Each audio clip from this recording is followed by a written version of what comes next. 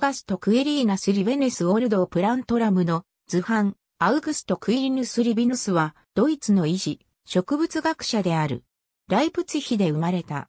父親は、ライプツヒ大学の哲学と医学の教授で、ネオラテン語の詩人でもあり、自分の姓をラテン語化してリビヌスと自称した。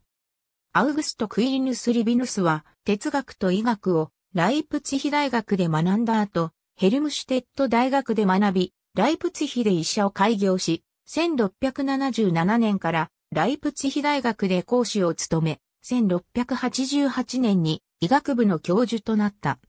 1891年から病理学と植物学の教授になり、大学植物園の園長となった。リビヌスは植物分類学の分野で働いた。果敢の形を分類に用いる分類形式や論理学者のヨアヒム・ユンギウスと共に植物の命名法を研究した。医学や植物学や天文学に関する多くの研究を行い、それらの研究は1710年にリサーテシャネ、メデケイデバースステンプラバスハビタエ、ウンクベーロイウナムファシキアラムコレクテとして出版された。太陽黒点の研究の結果、晩年は視力を失った。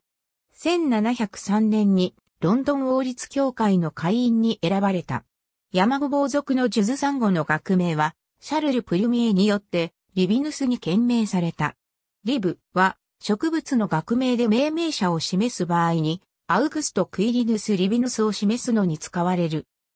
ありがとうございます。